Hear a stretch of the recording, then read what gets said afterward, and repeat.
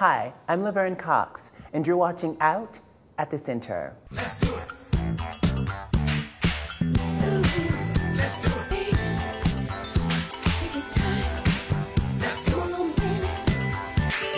Do it. Let's do it. Let's do it. Do it. Do. Come on, baby.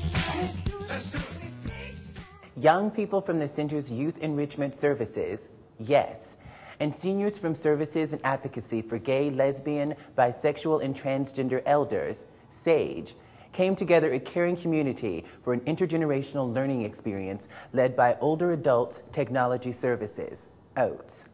For 10 weeks, LGBT youth mentored seniors in basic computer skills under the guidance of an OATS facilitator. Let's meet some of the participants from this unique learning collaboration between queer youth and seniors. It's the first of its kind uh, with relation to the LGBT Center and working specifically with queer older adults and queer youth. Um, up until now, we have done programs with youth and seniors, but this is the first time we've sort of brought the two groups together. My name is Renee Martinez, and I work for the organization called OATS, I'm the computer instructor here at the Caring Community Center. So I teach the seniors how to use computers and then I also train the young adults how to work with the seniors, interact with them. I just knew I wanted more experience and I figured this was a really good way because not only you're helping someone, you're also learning from them. It's a 10-week course and they meet twice a week. It's a basic introduction to computers. How to get online, how to use email, how to search the web, but also just basic things like how to turn the computer on and move the mouse. I'm totally ignorant when it comes to computers, and I thought it's just silly not to know at this age. I email a lot and receive a lot of emails, but that I already knew how to do. What, I, what I'm here for are the other skills of the computer itself and working with, I guess, Windows, different programs are they called, or different whatever.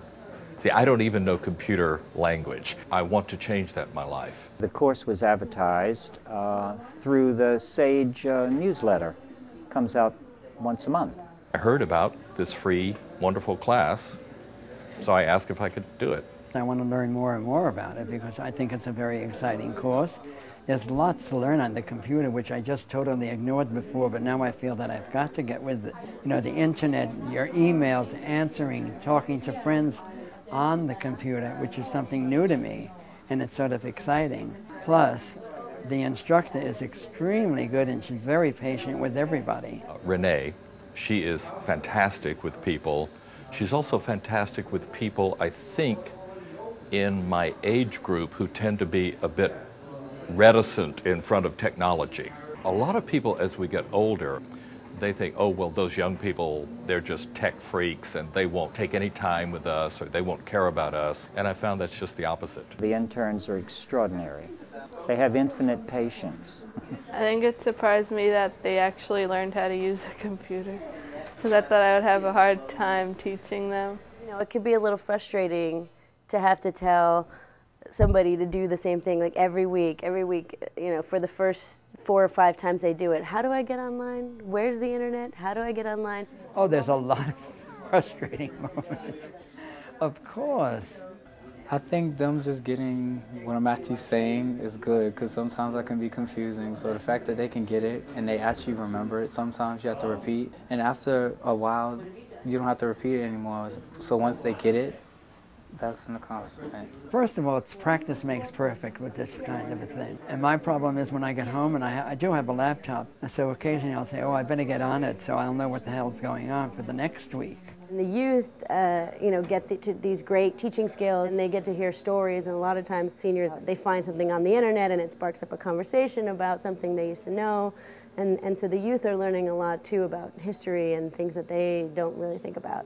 I've learned to be a bit more confident, a bit more sure of myself. And then on top of that, they're fun. There, there have been um, several funny moments. Uh, nothing too dirty. They Googled Oprah Winfrey. Nothing too dirty. They wanted to know her birthday. Yeah, so much information you can get.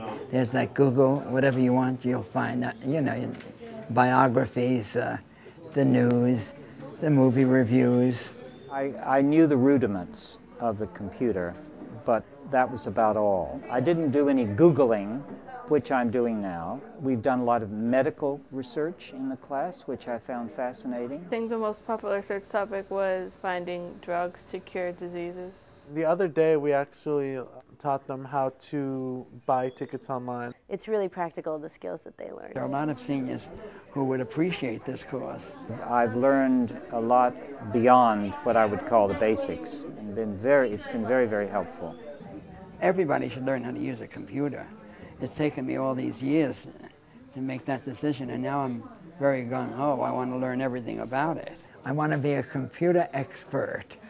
And that's all for this excerpt from Out at the Center.